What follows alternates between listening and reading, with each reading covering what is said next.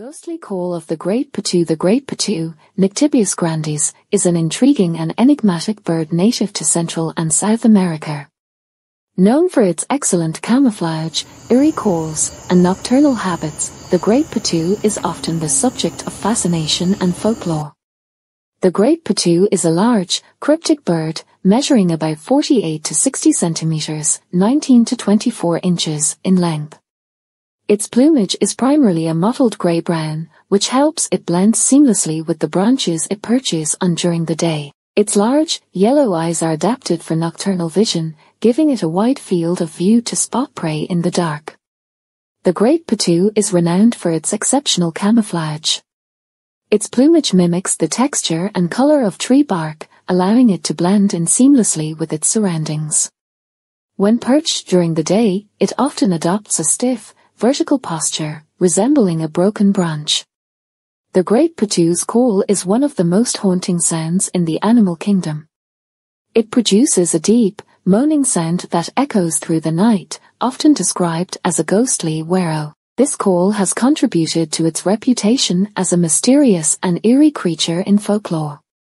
As a nocturnal bird, the great potoo is active primarily at night.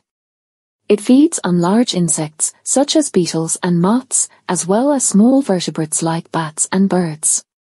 Its large eyes are specially adapted to see in low light conditions, making it an efficient hunter in the dark. The great potoo can be found across a wide range of Central and South America, from southern Mexico to northern Argentina. It inhabits a variety of forested environments, including tropical rainforests, subtropical forests, and occasionally more open areas with scattered trees. Great potoos are solitary birds, and their elusive nature makes them difficult to observe in the wild. They often perch high in the trees during the day, remaining motionless and virtually invisible. The great potoo lays only one egg at a time, usually in the hollow of a tree or on a branch, without building a traditional nest.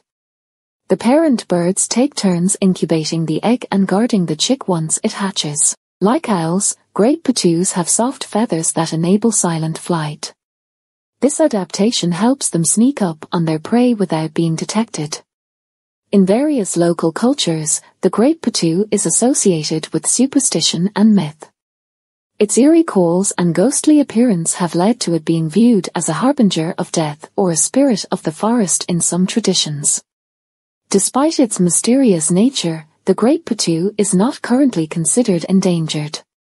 However, deforestation and habitat destruction could pose future threats to its population. When perched, the great potoo often closes its eyes to narrow slits, remaining motionless for hours.